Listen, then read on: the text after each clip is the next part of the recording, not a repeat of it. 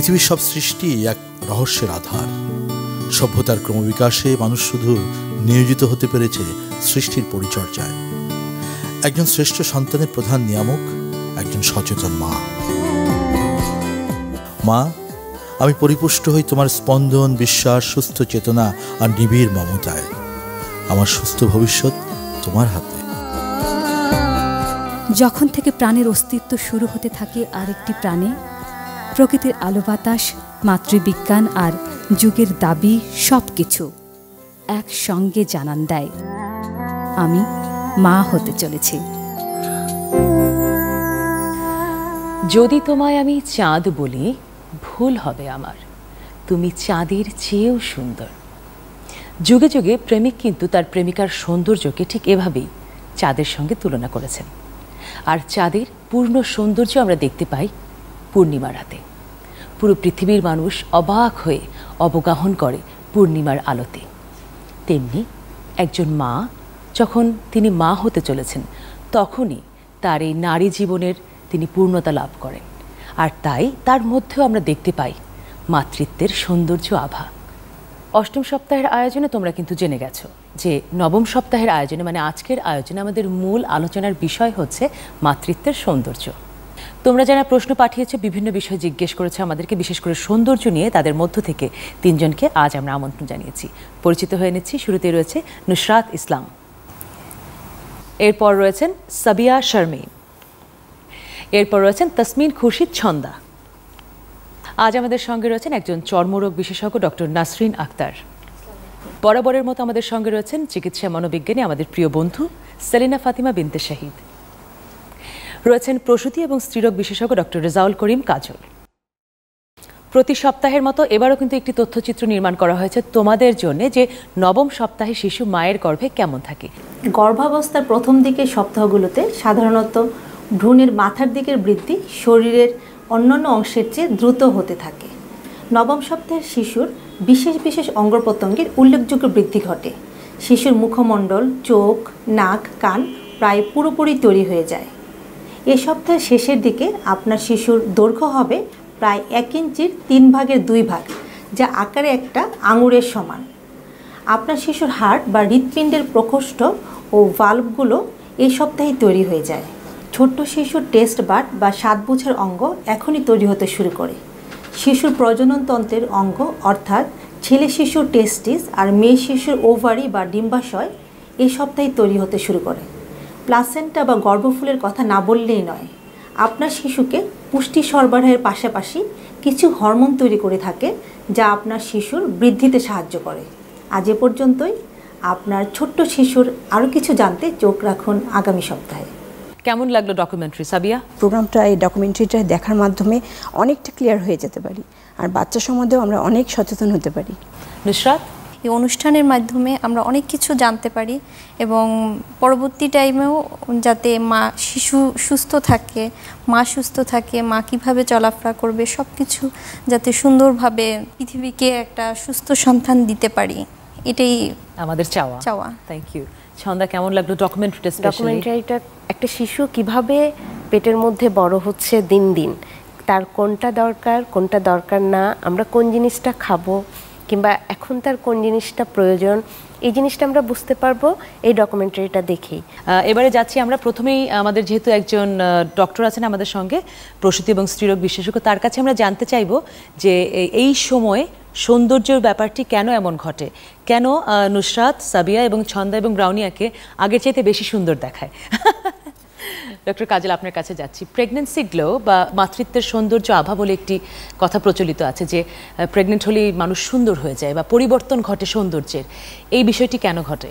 একটা মেয়ের জীবনে মা হওয়াটা হচ্ছে মানসিক এবং শারীরিক সৌন্দর্যের পূর্ণতা। একজন, একটা মেয়ে যখন মা হয়, তখন সে বলতে পারে, আমি পরিপূর্ণ। এখানে তার একটা মানসিক সৌন্দর্য জড়িত থাকে আর একটা শারীরিক সৌন্দর্য জড়িত থাকে।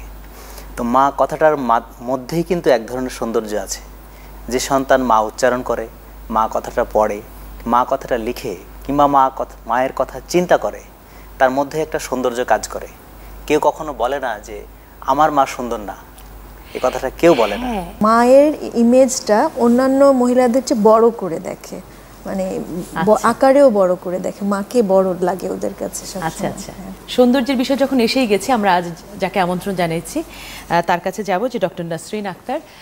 আপনি একটু আমাদেরকে সায়েন্টিফিক্যালি বলবেন যে এই যে প্রেগনেন্সি গ্লো বা প্রেগনেন্সির যে আভাটা, এটা কেন ঘটে? যখন একটা মা, যখন সে মা হতে যায়, তখন তার কিছু শারীরবৃত্তীয় প্রক্রিয়া চলে। এটার জন্য কিছু হরমোনাল ইনফ্লুয়েন্স কাজ করে, কিছু মেটাবলিক প্রক্রিয়া কাজ করে, কিছু ইমিউনোলজিক্যাল যেটা আমাদের রোগ প্রতিরোধ করে, সেই প্রক্রিয়া কাজ করে আমাদের মধ্যে। এখন এসব বিভিন্ন প্রক্রিয়া যেহেতু আমাদের শরীরের মধ্যে কাজ করে, সেজন্য শরীরের বিভিন্ন ধরনের পরিবর্তন দেখা যায়। এখন শরীরের এই বিভিন্ন ধরনের, বিশেষ করে যে হরমোন, যে হরমোনাল ব্যালেন্সটা হচ্ছে একটা প্রেগনেন্সিকে, একটা মায়ের, সন্তানকে মায়ের গর্ভে ধরে রাখার জন্য, এটার জন্য তার হচ্ছে এই আমাদের মাথার ভিতর একটা গ্রন্থি আছে। সেখান থেকে এক ধরনের হরমোন সিক্রেশন হয়, যার জন্য আমার এই প্রেগনেন্সির সময় চামড়াটা কালো হয়ে যেতে পারে। এটা হতে পারে কোনো নির্দিষ্ট কোনো জায়গায়, যেমন বগলের নিচে, ঘাড়ে, অথবা তার সারা শরীরেই সামান্য কালো হয়ে যেতে পারে। অথবা যাদের শরীরে তিল থাকে, সেগুলোও কিছু বেশি একটু কালো হয়ে যেতে পারে। কিন্তু আবার সৌন্দর্যের আভা যেটা বলে যেমন সাধারণ মানুষ যখন একটু তার ওজনটা একটু বেড়ে যায় তখন চামড়ার নিচে যেই চর্বি থাকে সেই চর্বিটা একটু যখন বাড়ে তখন তার লাবণ্যটা বেড়ে যায়। সেজন্য তখন তার এই ফিলিংসটাও এই ইমোশনাল স্টেটটাও এই মানসিক অবস্থাটাও তাকে বেশ সুন্দর করে তোলে। প্রথমে আমি নুসরাতের কাছে যাব। নুসরাতের প্রশ্নটি ডক্টরের কাছে সরাসরি করবার জন্য রিকোয়েস্ট করব। ঘাড়ের নিচে ওটা অনেক মায়েরই হয় এই সময়। কালো হয়ে যাচ্ছে ফেসটাও একটু কালো হয়ে যাচ্ছে। তো এক্ষেত্রে আমি কি করতে পারি? সন্তান যখন গর্ভে ধারণ করে একজন মা, তখন তার কিছু হরমোনাল চেঞ্জ হয়। সেই হরমোনাল চেঞ্জের জন্যই মূলত এই কালো দাগটা আসছে। এখন এই কালো দাগটা যেহেতু আমরা যখন শৈশব থেকে কৈশোর বা যৌবন এমন পার করি, তখন আমাদের শরীরটা যেমন নর্মাল স্বাভাবিকভাবে বড় হচ্ছে তেমনিভাবে এই যে কালো হওয়াটা, এটা যেহেতু হরমোনটা, হরমোন যেই গ্রন্থি থেকে হরমোনটা নিঃসরণ হচ্ছে, সেই গ্রন্থিটা বড় হয়ে যাচ্ছে। সেজন্য সেখান থেকে এই হরমোনটা সিক্রেশন বেড়ে যাচ্ছে। এই হরমোন সিক্রেশন যখন বেড়ে যাচ্ছে, তখন আমাদের বিভিন্ন জায়গায় কালো হয়ে যাচ্ছে। এখন এই যে হরমোনটাকে যেই গ্রন্থিটা সিক্রেট করছে, এটাকে আমরা কমে, ছোট করে দিতে পারছি না। সেই জন্য এটাকে আমাদেরকে মেনে নেওয়াটাই ভালো, কিন্তু আমাদের মনে রাখতে হবে আমাদের চামড়াটা যেন খুব শুষ্ক না হয়ে যায়। নর্মাল যে ইমোলিয়েন্ট বা আমরা তেল ইউজ ব্যবহার করতে পারি, অথবা কোনো লোশন ব্যবহার করতে পারি, অথবা কোনো ক্রিম ব্যবহার করতে পারি। এজন্য যে আমাদের চামড়া যেন আর্দ্র চামড়া যেন আর্দ্রতা থাকে। কিন্তু এই কালো ব্যাপারটাকে একটু মেনে নিতে হবে এই সময়টার জন্য। সেলিন আপনার কাছে যাচ্ছি। এটাও অনেক প্রশ্ন এসেছে নুসরাতের মতো অনেকেই জানিয়েছেন। আমি আমি ওদের হয়ে প্রশ্ন করছি যে কোনো ক্রিম দিলে তো এখন এই কালোটা যাচ্ছে না। হরমোনের জন্য হচ্ছে। সুতরাং এটাকে প্রেগনেন্সির একটা চাঁদের কলঙ্ক বা সেরকম কিছু আমরা ভাবতে পারি কিনা সেলিনা? এই দাগগুলোকে আসলে একসেপ্ট করে নেওয়া এটা হরমোনাল চেঞ্জ এবং এটা কিন্তু অধিকাংশ ক্ষেত্রে দেখা গেছে প্রেগনেন্সি পার হলে দাগগুলো চলে যায়। এমনকি অনেকের অনেক ব্রণ হয়ে গেছে সেটাও চলে যায়। হ্যাঁ কিছু কিছু স্ট্রেস মার্কটা যায় না। সেটার জন্য কিন্তু আগের থেকে কিছু প্রিপারেশন আছে। একটা কিছু পেতে গেলে একটা কিছু হারাতে হয়। এটা কিন্তু পার্মানেন্ট হারানো না তারপরও। সেটা যদি মেনে নিতে পারি যে আমি এর চেয়ে বড় কিছু করতে যাচ্ছি, আমি একটা সন্তানের জন্ম দিতে যাচ্ছি, সেই বিষয়টা যদি মনে থাকে, তাহলে এটাকে উপভোগ করা যেতে পারে যে হোক না, একটু দাগ। বেশি টেনশন করলেও কিন্তু আমরা যত্নগুলো করব না। তবে সাইকোলজিক্যাল কিছু যদি এক্সট্রিম চিন্তা হয়, বিশেষ করে আমরা দেখেছি যে কোনো কোনো মেয়েদের ইটিং ডিসঅর্ডার যদি থাকে, যেমন বুলিমিয়া অ্যানোরেক্সিয়া নার্ভোসা এগুলো এগুলোর মূল বিষয়গুলো হচ্ছে যে ওনাদের শারীরিক ইমেজ সম্পর্কে প্রচণ্ড নেগেটিভ ধারণা থাকে। যে ওনারা প্রচণ্ড স্লিপ মানে আন্ডার ওয়েট তারপরে উনি মনে করছেন উনি অনেক মোটা। হ্যাঁ এই মনে করে করে উনি একদম খেতে চান না। খেতে চান না, প্রচণ্ড এক্সারসাইজ করেন, সারাক্ষণ এই মানে তার ইমেজটাই নেগেটিভভাবে আসে সবসময় আয়নায়। আয়নায় সে নিজেকে অনেক বেশি মোটা দেখে। আসলে কিন্তু সেটা না। এটাই ডিসঅর্ডারটা এটার কারণেই সে না খেয়ে থাকে। দিনের পর দিন না খেয়ে থেকে- এবং এই এক্সারসাইজগুলো করে। আর বুলিমিয়া যেটা, সে অনেক বেশি খেয়ে ফেলে, খাওয়ার সময় কন্ট্রোল থাকে না যেটাকে আমরা বলি বিঞ্জ ইটিং তারপর সে গলায় আঙ্গুল ঢুকিয়ে বমি করে। মানে এই প্রবলেমগুলো যদি কোনো মায়ের থাকে সেটা কিন্তু খুবই. ডেঞ্জারাস কারণ বাচ্চার জন্য যেটা পুষ্টি তো পাবেই না মা নিজেও পুষ্টি পাবে না। সেটা বাচ্চার জন্য অনেক ক্ষতি বয়ে আনবে মার নিজের জন্য। তো সেই জায়গাগুলো যদি কারও আগে থেকে এই প্রবলেমটা থাকে আমি যেটা বলব যে আগে প্রবলেমটাকে অ্যাড্রেস করে সেই জায়গাটায় চিকিৎসা করে মা হতে যাওয়া। সৌন্দর্য শুধু চেহারার সৌন্দর্য দিয়ে না। আমি কেমন? আমার পরিচয় কি? আমা আমি কতটা অন্যকে স্বাচ্ছন্দ্য দিতে পারি? এটাও কিন্তু অনেক বড় একটা বিষয়। এবং পাশাপাশি পার্টনারের ভূমিকা এখানে অনেক ইম্পর্টেন্ট আজকাল আমাদের বেশ কিছু প্রশ্ন এসেছে। হাজব্যান্ড প্রেগনেন্সির পর থেকে একটু কম কাছে আসে কম তাকায়। এটা হতে পারে ওয়াইফের দিক থেকেও যে ও ভাবছে কম তাকায়। আবার এটা হতে পারে যে হাজব্যান্ডেরও তো একটা নতুন সিচুয়েশনে বলাই উচিত যে এখনই তোমাকে সবচেয়ে বেশি সুন্দর লাগছে। অথবা হাজব্যান্ডেরও নিশ্চয়ই চোখটা এমনই হওয়া উচিত।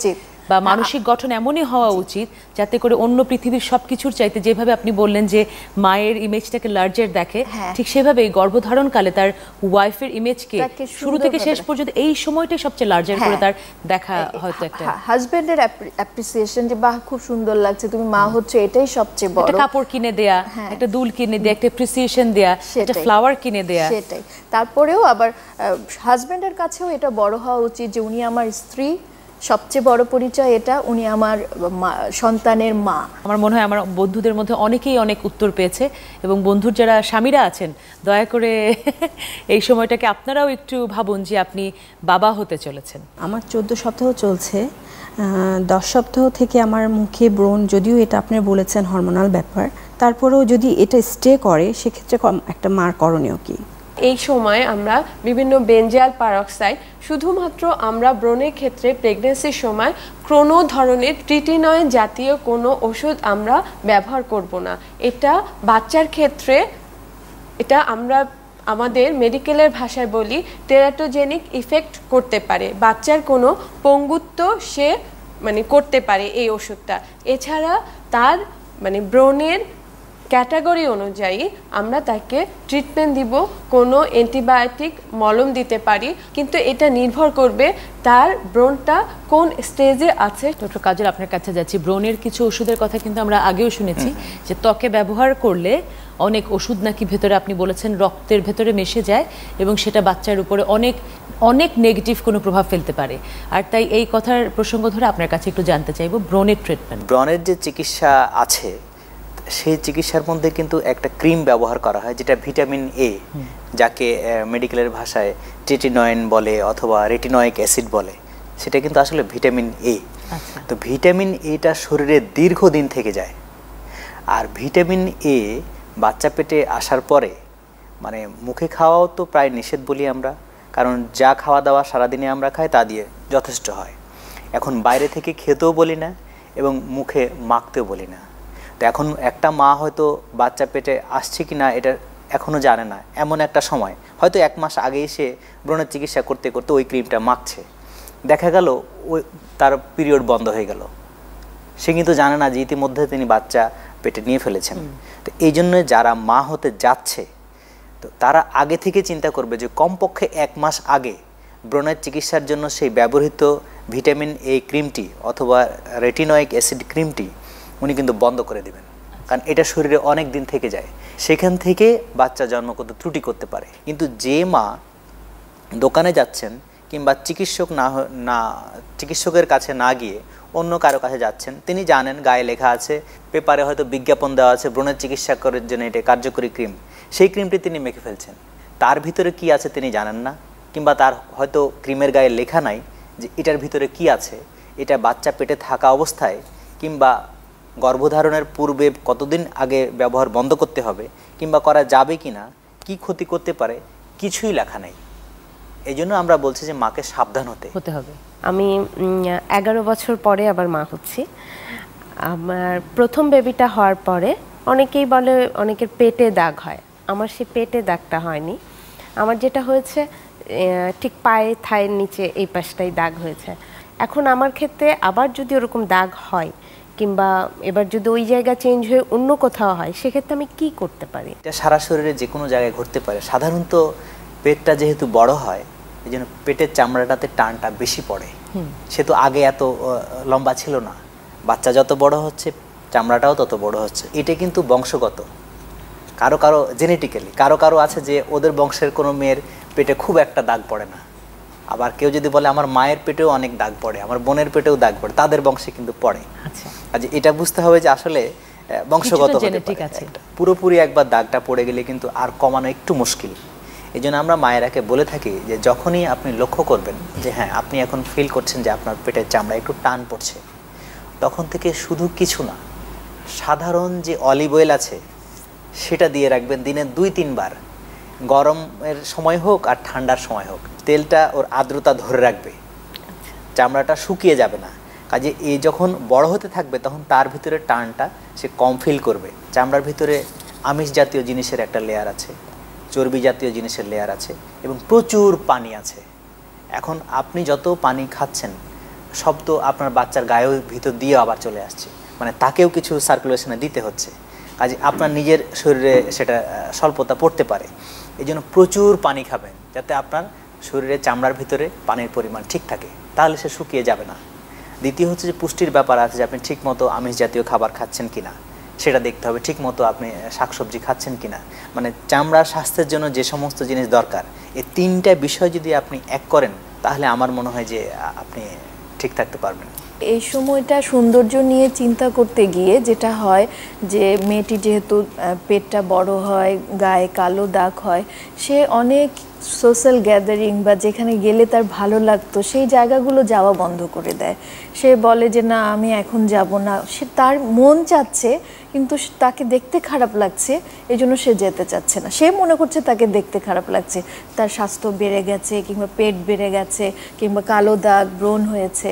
ওই সব কারণে সে তার যে বিনোদনগুলো যেগুলো আমরা বলেছি যে এই এই মুহূর্তে কিন্তু প্রেগনেন্ট যারা তাদের মনটাকে খুব ভালো রাখতে হবে। সবাই তো দেখছেই আমি মা হতে চলেছি। এর চেয়ে বড় সৌন্দর্য আর কি হতে পারে? আপনি বলেছেন যে দুই ধরনের ব্যবহার আছে। একটা হচ্ছে ভার্বাল কমিউনিকেশন একটা হচ্ছে ফিজিক্যাল মানে সে ইশারা কি করে- করছে বা কোথায় তাকাচ্ছে। এখানে আমার একটা কালো দাগ আছে বারবার সবাই ওইভাবে তাকাচ্ছে। এই যে লুকস এবং ওয়ার্ড এই দুটো বিষয় আমার মনে হয় সামাজিকভাবে সচেতন থাকা দরকার। সব মানে মাদের এটা বোঝা উচিত, এটা কেন হয়? চামড়াটা টান পড়ার জন্য চামড়া যে লেয়ার আছে, সেই লেয়ারে একটা আমরা বলি তার দুইটা লেয়ার একটা হচ্ছে ইপিডার্মিস আর ডার্মিস এই ডার্মিসের ভিতর কিছু কোলাজেন ফাইবার থাকে, ওগুলা ভেঙে যায়, ওগুলা ড্যামেজ হয়ে যায়। ওগুলা যখন ড্যামেজ হয়, সেই ড্যামেজের জন্য আসলে এটা যখন আবার রিপেয়ার করে, তখন আমাদের স্কার মার্কটা হয়। এখন এই স্কার মার্কটা এটা হচ্ছে একটা জেনেটিক ফ্যাক্টর আছে বাট এটা হচ্ছে প্রুভেন না যে এটা জেনেটিক ফ্যাক্টর দিয়েই কাজ করছে। আমাদের কাছে অনেক মাই আসে যে আমার এই দাগটা কীভাবে যাবে, যে কোলাজেন ক্রিম ব্যবহার করে এইটার ইফেক্ট পাওয়াটা, এটা এটা একটু কন্ট্রোভার্সি আছে। হয়তো তার অনেক টাকা খরচ হয়ে গেল, কিন্তু সে এটা ইফেক্ট পেল না। তার থেকে হচ্ছে এই ট্রিটিনয়েড জেল ব্যবহার করাটা বেটার একটা টুথপেস্ট আছে হোয়াইটেনিং ওটা আমরা কি এই সময় ব্যবহার বন্ধ রাখব না করব? প্রেগনেন্সির প্রথম বারো সপ্তাহ, এটাকে আমরা ফার্স্ট ট্রাইমেস্টার বলি। সেখানে কোনো মেডিকেটেড জিনিস নর্মাল স্বাভাবিক যেটা, সেটা আমরা ব্যবহার করতে পারব। কিন্তু যে কোনো ধরনের মেডিকেটেড জিনিস থেকে আমরা দূরে থাকব। কারণ এটা যে যে কোনো ধরনের ওষুধের আমরা পরীক্ষা করে থাকি, এটা প্রেগনেন্সি ক্যাটাগরি কোন লেভেলে আছে? সে এতে আছে বিতে আছে সিতে আছে না এক্সে আছে? এক্স মানে হচ্ছে সে প্রেগনেন্সিতে এটা কিছুতেই ব্যবহার করতে পারবে না। যে চুলের সাবান থেকে শুরু করে মুখমণ্ডলের সাবান এগুলো সেফ কারণ এগুলো নর্মাল কোনো স্পেশাল কিছু না। আচ্ছা এরপরে আসছে হচ্ছে ক্রিম প্রথম বিষয়টা গেলো ডক্টর কাজল কি কিছু বলবেন এই ব্যাপারে? যে হ্যাঁ, মুখমণ্ডলের ওয়াশ হ্যাঁ ওয়াশ করার সময় যে সাধারণ সাবান পাওয়া যায় কিংবা আহ, সাধারণ ফেস ওয়াশ পাওয়া যায় সেগুলো তেমন ক্ষতিকারক সাধারণ মানে কি? যদি একটার মধ্যে লেখা থাকে যে এটা হচ্ছে হোয়াইটেনিং ফেস ওয়াশ আমি কি বাদ দিব সেটা? হ্যাঁ, বাদ দিতে পারেন কারণ সে একটু স্পেশাল কাজ করবে। আচ্ছা কোনো স্পেশাল কাজে আমি নেব না। যদি স্পেশাল কাজে দেয়া হয় যে সে কাউকে হোয়াইট করবে বা কাউকে refining কিংবা কিছু এজ থাকে। রিফাইন করবে এগুলো avoid করা ভালো। স্পেশাল কাজ করতে দেয়া হয়। তার মধ্যে তার মধ্যে স্পেশাল কেমিক্যাল আছে। আচ্ছা। যে কেমিক্যালটা হয়তো লেখা নাই কিংবা লেখা থাকলেও মা সেটা বোঝে না কিংবা সেটার গায়ে লেখা নাই যে প্রেগনেন্সি অবস্থায় এটি ব্যবহার করা যাবে না এই তথ্যগুলো নেই কিন্তু একটা কেমিক্যাল আছে। তাহলে আমাদের উচিত সেই কেমিক্যালকে আমরা বাদ দিয়ে চলি। এ তো গেল সাধারণ সাবান শ্যাম্পুর কথা কিন্তু বাজারে কিন্তু বেশ কিছু হার্বাল নামে পাওয়া যায়। এগুলো আসলেও হার্বাল কিনা বা এগুলোতে কিছু লেখাও থাকে না এই বিষয়গুলোতে আপনি কি বলবেন? আমি বলতে চাচ্ছি কোনো ধরনের কন্ট্রোভার্সি কোনো কিছু আমি ব্যবহার করব না। যেটা হয়তো আমি আজকে জানলাম না যে আজকে এই হার্বাল প্রোডাক্টে কি উপাদান আছে। কিন্তু এটা যখন কোনো কোনো দিন হয়তো এই হার্বাল প্রোডাক্ট নিয়ে কোনো গবেষণাও করা হয়নি। যদি গবেষণায় বের হয় যে সে হয়তো ব্যবহার করল এবং বাচ্চার কোনো যে যে এত মানে এত প্রার্থিত যে বাচ্চা সেই বাচ্চার কোনো ক্ষতি হয়ে গেল তখন আমি কাকে দায়ী করব? আমাকে বাচ্চাকে নাকি আমাদের সৃষ্টিকর্তা তাই তো। সুতরাং আমরা এই ধরনের যে কোনো জিনিস থেকে আমরা বিরত থাকব। এখানে আরও কিছু প্রশ্ন আসছে মেকআপ নিয়ে। কোনো কোনো বিশেষ স্পেসিফিক মেকআপ থাকলে আমরা দিতে পারব কি পারব না বা মেকআপে আসলে কি থাকে? কীভাবে বুঝব যে আমি মেকআপ নিব কি নিব না? বা কাজল পরবো কি পরবো না? লিপস্টিক পরবো কি পরবো না? এগুলাতে কোনো ইফেক্ট পড়া উচিত না। কারণ আমরা মেকআপ নিয়ে যারা মেকআপ নেয় তারা মেকআপ নিয়ে বেশিক্ষণ থাকছে না। এগুলো বেশি মেডিকেটেডও হয় না। না। মেডিকেটেড থেকে ইনগ্রেডিয়েন্টগুলো একটু ডিফারেন্ট আমরা সবসময় দেখব যে আমরা সেটাই ব্যবহার করতে পারব না যেটা হচ্ছে আমার বাচ্চার ক্ষতি করে। রাইট আরেকটা বিশেষ বিষয়ে প্রশ্ন এসেছে সারা আলী ঢাকা। স্পেশালি সে জানতে চেয়েছে হচ্ছে কি আপনার সান ব্লকের বিষয়ে। সান ব্লকের ব্যাপারে কোনো নিষেধাজ্ঞা নেই। কারণ হচ্ছে এটা আমাদের সূর্যে যে আলট্রাভায়োলেট এ বা বি থাকে, সেটা থেকে আমাদের প্রোটেকশন দিচ্ছে। আমরা যদি সানব্লক ব্যবহার করি, তাহলে এটা যেহেতু আমাদের এ বা বি থেকে প্রোটেকশন দিচ্ছে, এটা আমাদের একটু এই যে যে ডার্ক হয়ে যাচ্ছে যার জন্য এত চিন্তা সেটা থেকেও আমাদের একটু প্রোটেকশন করবে। মুনমুন আহমেদ চট্টগ্রাম থেকে লেজারের উপর প্রশ্ন করেছে যে লেজার করাটা ভালো না খারাপ বা এর কোনো বিধিনিষেধ আছে নাকি? প্রেগনেন্সির পরে আমরা করব। আচ্ছা। কারণ লেজার বিমটা হচ্ছে স্পেসিফিক জায়গায় যাবে। সে স্পেসিফিক জায়গায় গিয়ে সে নির্দিষ্ট একটা যে কোনো জিনিসকে সে ডিস্ট্রয় করবে। ডিস্ট্রয় করার পরেই তার সেই ডিজিজ কন্ডিশনটা সে প্রিভেন্ট করবে। সেজন্য আমরা এই ধরনের কোনো বিম রে যত কম করা যায়। যেহেতু আপনি রের কথাটা বললেন, তাহলে আমাদের আইটির যুগে যেটা হয় মোবাইল ফোন অথবা কম্পিউটারে আমরা যারা জব করি, তাদেরকে এই জিনিসগুলো সবসময় ইউজ করতে হচ্ছে। এটা কি কোনোভাবে প্রভাব ফেলে? বাচ্চার এটা থেকে যে বে- রে আসে এটাও আসলে ক্ষতি করতে পারে কিন্তু আমাদের সেজন্য মোবাইল ফোনটা সবসময় কাছে না রেখে একটু দূরে রাখাটাই ভালো। শেষ দুটি প্রশ্ন আছে আমার কাছে। নাসরিন মল্লিক নাখালপাড়া থেকে।